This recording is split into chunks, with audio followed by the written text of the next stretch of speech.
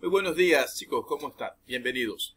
Estamos ahorita empezando la clase del día de hoy. Es hacer el recuerdo de la clase que vimos en clase Zoom para que tengan el conocimiento eh, realmente fijo y que sepan discriminar el sujeto de sus diferentes tipos y en sus diferentes eh, etapas, cuando se ve, cuando no se ve, bueno, como analizamos ayer. Quisiera recordarles este pensamiento que dice, el éxito en la vida no se mide por lo que logras, sino por los obstáculos que superas.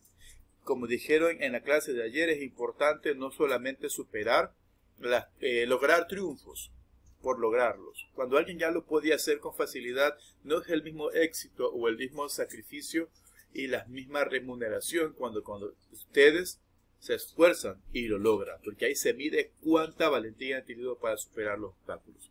Bien, en lo que tiene que ver con el sujeto y su estructura, recordamos rápidamente en la oración que dice, Emilio le puso una cortina a la pecera porque decía que lo veían todos. Pregunta, ¿quién le puso una cortina a la pecera? El sujeto es la persona, animal o cosa de la que se habla o se está diciendo algo en la oración. En este caso, ¿de quién se está hablando? ¿Quién le puso una cortina a la pecera? Emilio. Este vendría a ser el sujeto. El sujeto es la persona, animal o cosa de la que se está diciendo algo en la oración. ¿Ok? ¿Cómo identificamos el sujeto? Vamos a reconocerlo de la siguiente manera.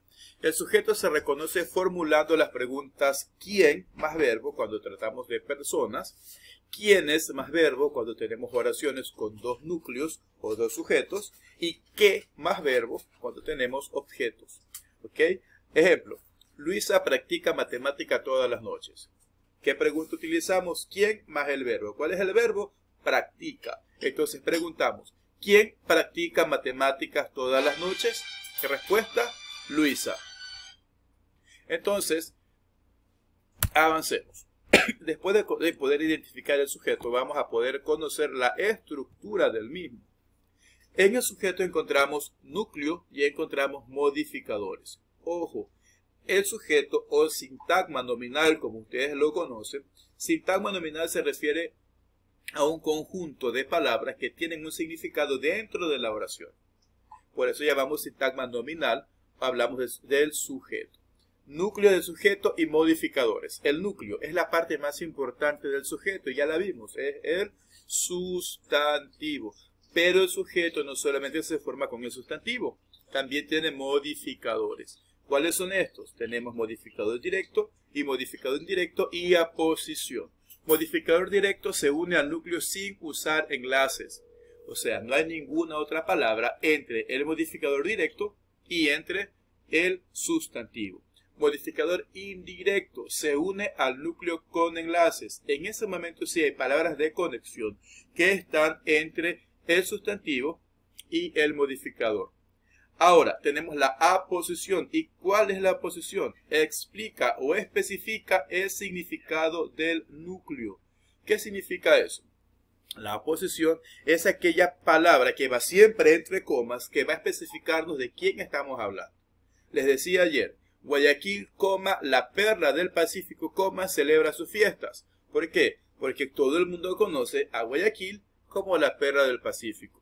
¿Ya? Entonces, una explicación de esto. O, por ejemplo, Juan, el padre de Alberto, vino a la escuela a ver las notas. Entonces, especificamos que Juan, entre comas, el padre de Alberto, es el que vino. está especificando o explicando. Esa es la posición. Veamos con ejemplos. La muñeca de vestido azul no necesita batería. ¿Cuál es el verbo aquí? Necesita. Perfecto hago la pregunta para identificar el sujeto. si hablamos de la muñeca, no estamos hablando de una persona, estamos hablando de un objeto. Entonces, la pregunta sería ¿qué más el verbo? La pregunta es ¿qué no necesita batería? Respuesta, la muñeca de vestido azul. Y ese es el sujeto. ¿Cómo analizamos esta parte del sujeto? Analizamos en modificador directo. Dese cuenta como este artículo, la, que está en femenino, concuerda correctamente con el sustantivo en femenino. Modificador directo, recordamos que decía, se une al núcleo sin usar enlaces. No hay ninguna otra palabra aquí. Está directamente unida al sustantivo. Mientras que de vestido azul es modificador indirecto. El modificador indirecto se une al núcleo con enlaces. ¿Cuál es la palabra o la, o la, la palabra enlace? En este caso sería de. Aquí tengo, con esto conecto de vestido azul. Ya es un modificador indirecto.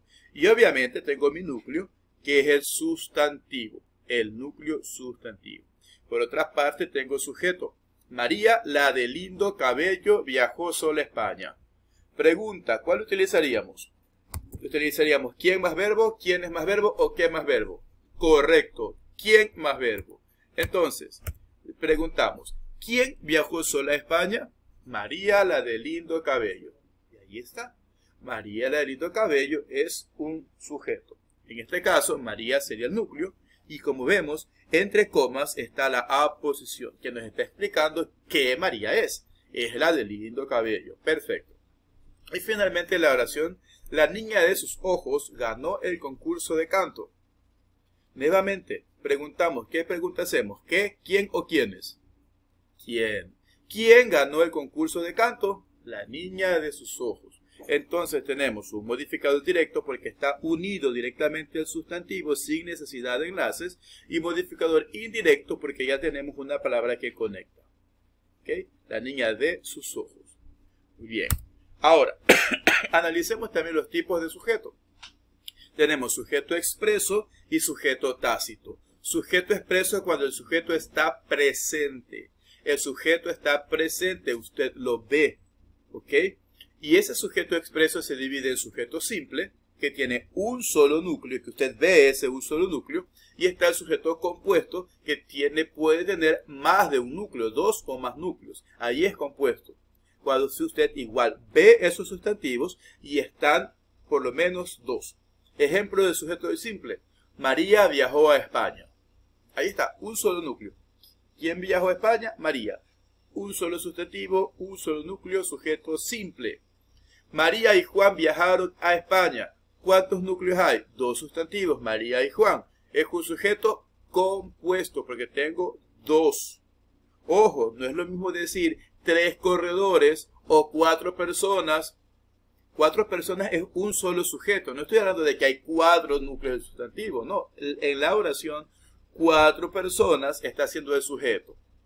¿Quiénes compraron las gorras? Cuatro personas. Y ese es el sujeto. No es que ahí, como hay cuatro, hay un sustantivo complejo. O un sujeto complejo. No. Es sustantivo igual simple y expreso. Sujeto expreso cuando usted puede encontrar con la pregunta directamente el sujeto. Por el contrario, si usted no lo encuentra es sujeto tácito. El sujeto está ausente pero lo sobreentiende. Y ahí rápidamente juega los pronombres personales. Yo, tú, él, nosotros, ustedes y ellos. La oración es fácil. Iré a ver el partido. Sin el yo, digamos que no está el yo en rojo, iré a ver el partido. ¿Encontramos el sujeto por algún lado? No. Entonces, pero sobreentendemos que se diría yo iré a ver el partido con un pronombre personal yo. O por ejemplo, corrieron desesperados por la calle. No encontramos sujetos como María, Juan, Pedro, el gato, el perro, el chivo. No encontramos un sujeto claro y expreso. Pero entendemos que utilizamos un pronombre, corrieron, utilizamos el pronombre ellos. Entonces ahí, cuando no está el sujeto claro, pero se sobreentiende el sujeto tácito. Y recuerden bien, sujeto expreso, cuando usted lo ve, se divide en sujeto simple, que hay un solo núcleo o un solo sustantivo, sujeto compuesto, cuando puede haber más de un núcleo o más de un sustantivo. Sujeto tácito, cuando el sujeto no está presente, está ausente, pero se sobreentiende. ¿Ok? Listo.